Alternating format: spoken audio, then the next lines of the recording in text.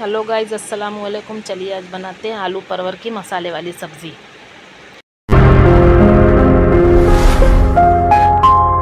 परवर और ये उबला हुआ आलू छील के छोटे टुकड़े में कर लिया गया है।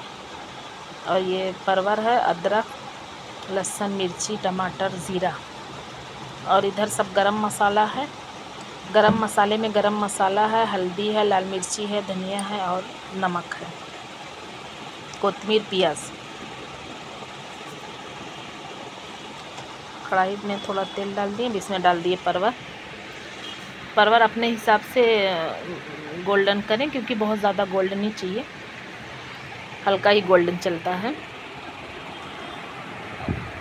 परवर हो गया हमारा परवर निकाल लेते हैं। क्योंकि इसमें बहुत टाइम नहीं लगता पकाने में, झटपट तैयार होती है ये रेसिपी और अच्छी भी लगती है। अब इसमें डालेंगे दो तेज़पत्ता, जो मैंने डाल दिया है। कटी हुई प्याज, एक छोटी ही प्याज है, बहुत बड़ी नहीं है। इसको हल्का ब्राउन करेंगे। क्योंकि प्याज भी बहुत ब्राउन नहीं चाहिए, क्योंकि इसमें सब्ज़ी में इतनी ही अच्छी लगती है। अब इसमें जाएगा मसाला। अदरक, लहसुन, मिर्ची, टमाटर जो रखा था वही ग्लैंडर करके डाला गया है और इसको थोड़ा से पानी।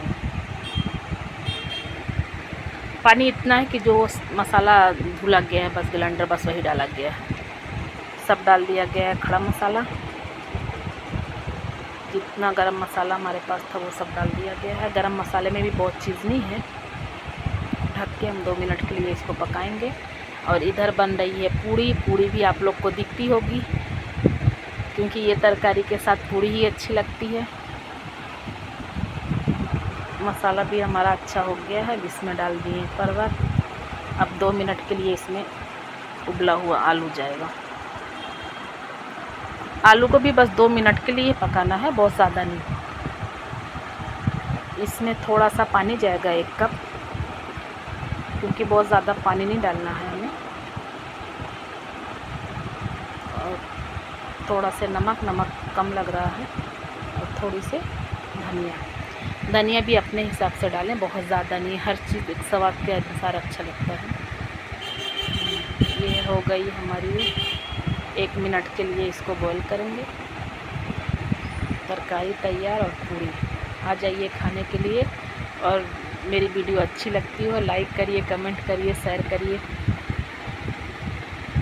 आ जाइए खाने के लिए। देखिए कलर देखिए सब्ज़ी का कितना अच्छा। बहुत खूबसूरत।